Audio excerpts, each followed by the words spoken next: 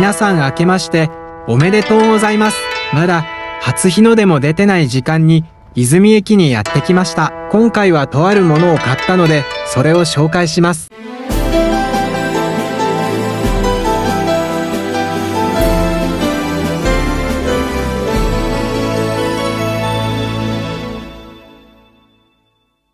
今回買いに来たのは、オレンジ鉄道の福袋です。この福袋は、元日に八代駅、仙台駅と小小泉駅で、各駅10袋限定で3000円で売られました。また、各駅に1袋ずつオレンジ、食堂3便のペアチケットの当たりの福袋もあります。確率は10分の1でとても低いですが、中身は6000円相当のオレンジ鉄道グッズなので、損ということはないです。まず袋閉じを外します。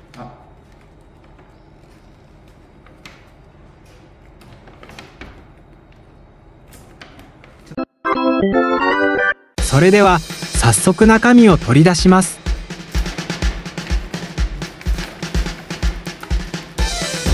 まず最初に出てきたのは放課後堤防日誌のラッピング列車のアクリルスタンドが出てきましたちなみにこれは1つ1000円なのでこれで2000円です。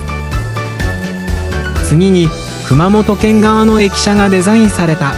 ロール付箋が出てきました。これは660円です。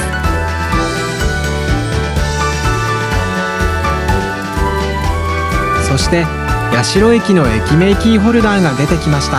This is 700 yen. 続いてポストカードが出てきました。これは200円ですそしてスケッチブックが出てきました。これは550円です。さらにテープカッターが出てきました。これは990円です。そしてマスキングテープが出てきました。これは440円です。これで全部でした。ということで残念ながらオレンジ食堂のチケットはありませんでしたが中身は約5500円分のグッズが入っていました。今回の動画はここまでです。また次の動画でお会いましょう。